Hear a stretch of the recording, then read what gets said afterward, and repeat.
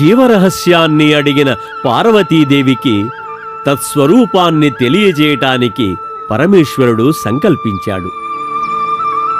ఈనాడు మనం చూస్తున్న అమర్నాథ్ గుహ ప్రదేశాన్ని ప్రబోధ వేదికగా స్వీకరించాడు. పార్వతీదేవికి పరిపూర్ణంగా అమరత్వ తత్వాన్ని ఆదిదేవుడైన సదాశివుడు ప్రబోధించిన తర్వాత బ్రహ్మాది దేవతలు మహర్షులు పరమేశ్వరుని సన్నిధికి చేరుకొన్నారు. అర్ధనారీశ్వరుని అమృతవాక్ ప్రవాహంతో పునీతమైన ఈ గుహను వీక్షించారు. మానవుల శ్రేయస్సును ఆకాంక్షించి చతుర్ముఖుడైన బ్రహ్మ పంచవ్యక్తమైన శివుడిని మృత్యుంజయ భావనకు జీవలక్షణానికి ప్రతీకగా గుహలో వ్యక్తం కావలసినదిగా ప్రార్థించారు. వారి కోరికను మన్నించి పార్వతి గణేశ కార్తికేయ కాలభైరవ సహితంగా హిమలింగ రూపాన్ని ధరించి అమరనాథుడుగా అష్టమూర్తి ఆవిర్భవించాడు.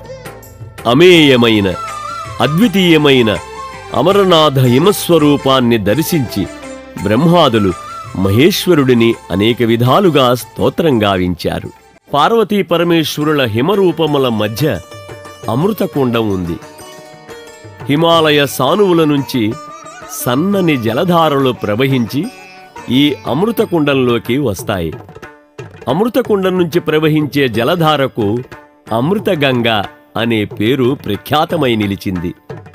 భక్తులు ఈ పావన జలాలను తీర్థంగా తీసుకుంటారు.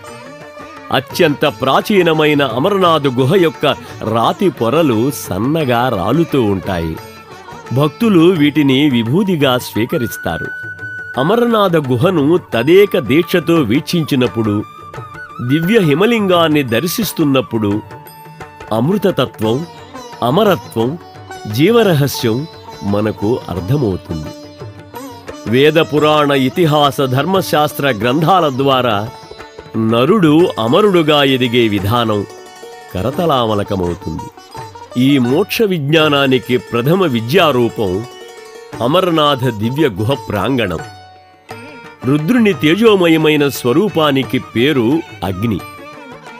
శక్తి యొక్క అమృత రూపానికి పేరు సోముడు.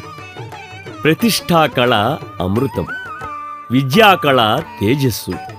సర్వజీవులలో రస తేజస్సులు ఇవే.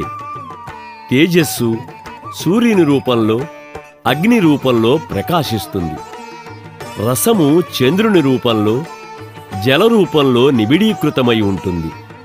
కాబట్టి జగత్తు అంతా అగ్నిశోమాత్మకం విశ్వం జగదిత్యనురూపత. మహోత్కృష్టమైన ఈ తత్వాన్ని ప్రతీకాత్మకంగా పరమేశ్వరుడు హిమలింగ రూపంలో భక్తులకు అనుగ్రహిస్తున్నాడు. శివాయ శివాయ గంగాధర